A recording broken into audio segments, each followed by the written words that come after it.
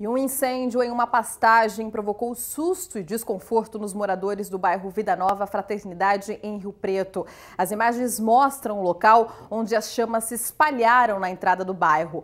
Todo o local ficou coberto por fumaça. Segundo o Corpo de Bombeiros, os policiais demoraram cerca de três horas para controlar as chamas. A orientação neste período do ano é que os moradores mantenham sempre o mato baixo e evitem colocar o fogo aí em folhas e galhos secos. De acordo, de acordo com o levantamento do Corpo de Bombeiros, o número de ocorrências registradas em vegetação natural aumentou. Neste ano, até agora, foram 107 ocorrências. No mesmo período do ano passado, foram 87 incêndios em pastagens.